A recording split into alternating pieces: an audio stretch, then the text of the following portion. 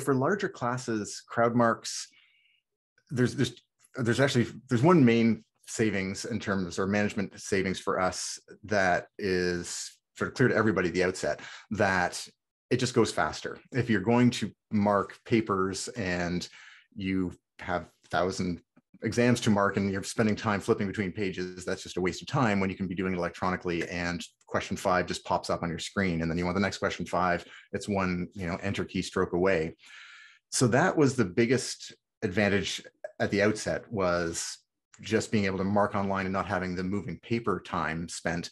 And we did studies of the uh, outset and found, you know, we had about a 25% reduction in marking time required. And I, that clearly indicated that we were saving time that we did not need to be spend marking that was not actually helping the marking. Then once we delve deeper into it, I've been using it for, I guess, about eight years now.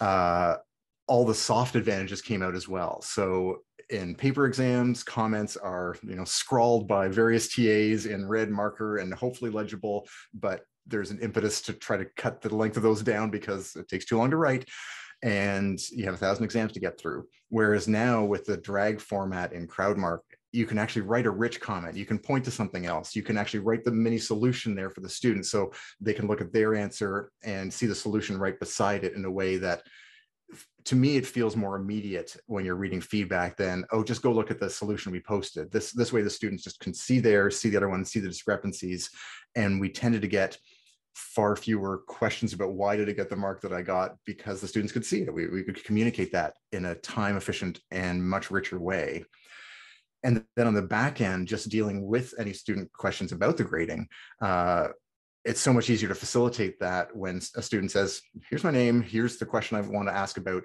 I can just pop it up on my screen within a minute instead of going, oh God, there's that pile of a thousand exams over there in the corner. I really don't want to deal with this right now. So I'm going to wait until you know two weeks later and then go through and try to do them all at once. Then you can't find the paper, or you've returned it, and then you have the whole integrity issue of what has the student done to the paper after you handed it back. Here, you're guaranteed that what you have in the Crowdmark system is exactly what they submitted. So there's just so many benefits there. The other major one for us was uh, also consistency. So in a large class, you always have the trade-off of do you want people to not spend time flipping pages so they just mark a whole exam or do you have them mark the same question but then they have to handle all the exams you have to pass them around all that sharing that really was the impetus i think for developing Crowdmark uh, now we can have a TA mark one question all the way through, so it's more consistent. They get their nice comment bank and consistent marking schemes associated with that, which really saves them time.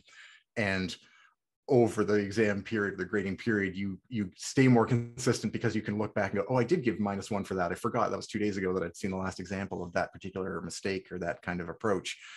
So you get more consistent that way.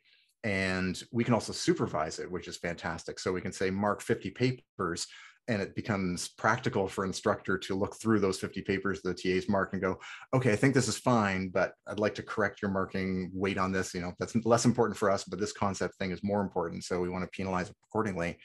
The fact you can automatically go back and edit the grades associated with the comments instantly and check that kind of uh, grading before it gets too far into the full paper stack has been tremendously helpful for maintaining sort of consistency between what we set as expectations in the classroom and what the TAs are grading on the back end. Uh, so it just makes it more fair for the students, quite frankly, but it's, uh, it's an insight that we couldn't have had when TAs were marking on paper. It's just too tedious to go through and try to review marking that way.